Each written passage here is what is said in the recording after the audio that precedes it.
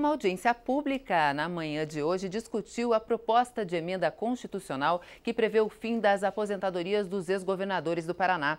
A audiência foi proposta pela CCJ, Comissão de Constituição e Justiça, e ouviu especialistas em direito sobre as implicações da extinção do benefício. O presidente da comissão, o deputado Francisquini, falou sobre os principais pontos discutidos.